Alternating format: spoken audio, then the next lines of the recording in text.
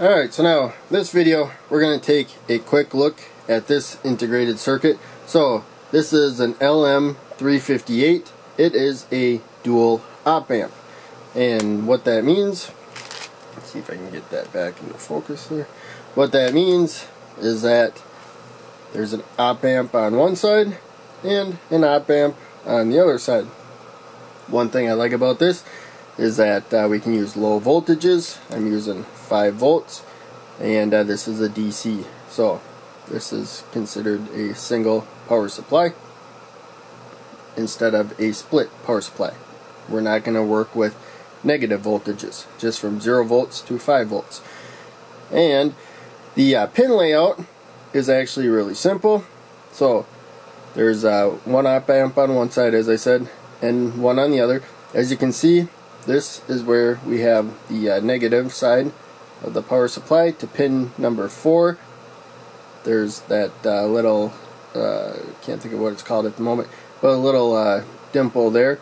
That's where pin number 1 is. And then 2, 3, 4, slide across, 5, 6, 7, 8. So pin 8 is the positive power supply. And so those are the power supplies. We got those taken care of. There's just six more pins.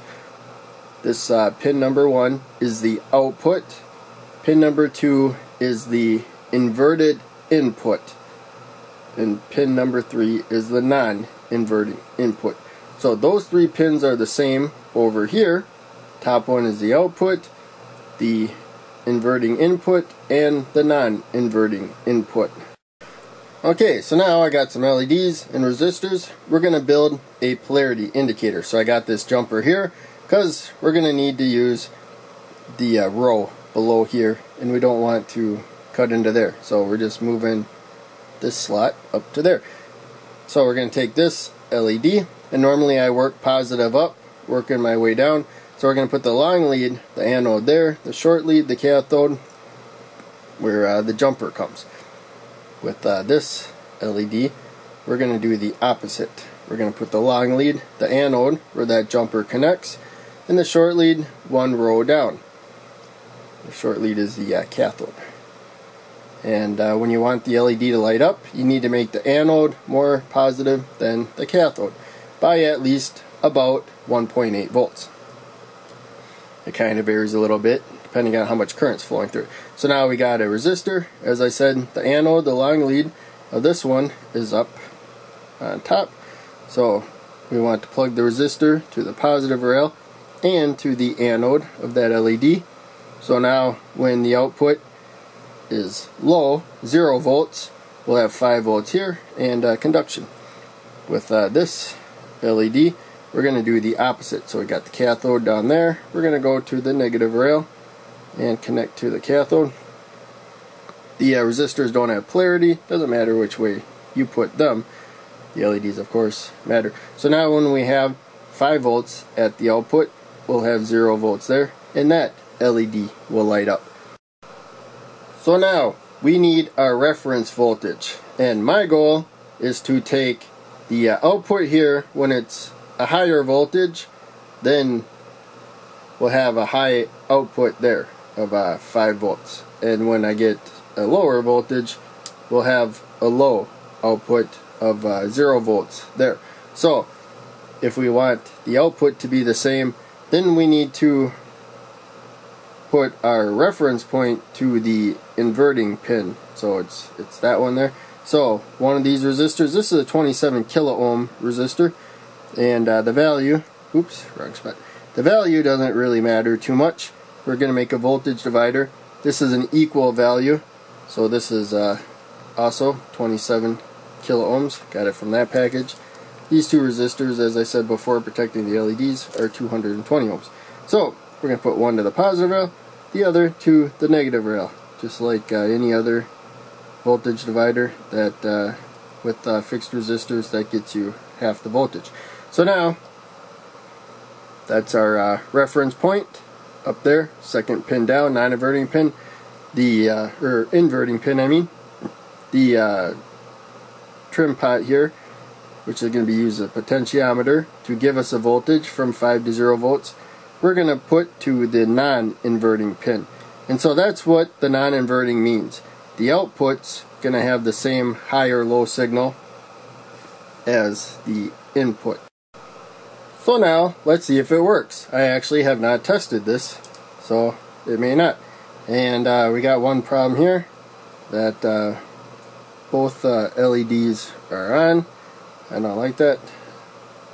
We're at the positive rail, let's go to the negative rail. Now you see the other, just uh, that LED goes is on. So we're at the negative rail there.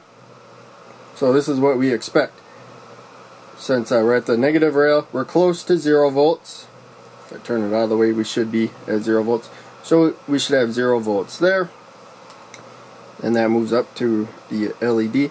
This is the positive rail. We consider that 5 volts. And so that LED lights up. And uh, so now let's see if I can troubleshoot what's wrong. That uh, both LEDs should not be on. Should just be one LED on. So, that's kind of confusing. Let's uh, quickly make a change. So what we're going to do is uh, unplug the uh, potentiometer there. We're going to shift these resistors. So now the voltage divider is at the non-inverting pin. And we're going to plug this into the inverting pin. So now we're going to stay up at more positive so we got a higher voltage, we should have a lower voltage at the output and the uh, top LED should light up. That lights up nicely. When we turn it down, now uh, we got that same problem again where both LEDs are lit. So something's uh, goofy there. Let's jump to the other side of the circuit and see the other side of the integrated circuit and see what we get.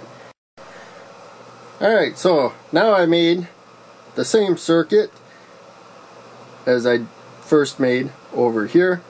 Remember, the uh, top pin though is the positive power supply, so they all shift down one compared to this side because the negative was down there. So this is uh, pin number 7, remember 1, 2, 3, 4, 5, 6, 7. 7 is the output, 6 is the inverting input, and uh, 5 is the non-inverting input. So, right now we got this turned towards the negative rail. So we should have about 0 volts at the output. And you can see that this LED is on. So positive supply, 5 volts heads towards negative, 0 volts. And again now, we can see that both LEDs are uh, lit. This one brighter, but uh, still, that was undesired and I didn't uh, do any test runs. So, it's pretty obvious what's wrong, but we'll get the uh, meter here and uh, take a look. So, I was guessing that this would output 5 volts. So, we're going to put uh, this probe to the uh, negative rail anywhere that directly connects to the negative rail. As I said before, this is our 0 volt reference point, and this uh, jumper connects to the output here, so I can just go to this end of the jumper to find the voltage. And as you can see there, it's 3.3 volts, so it's not very close to 5 volts. If I turn this down to negative there, now you'll see that uh, we got pretty close to 0 volts, uh, 1 volt. Still, this is more than I thought there would be. So, I'm uh, learning a lot doing this test circuit and uh, I'm gonna have to change how I do this when I make the official video this was kind of just a quick practice run get another bonus video out there and uh, show you some of the process that I go through while uh, designing circuits that I don't come across on my own. And uh, so I learned a lot from this video. Hope you did too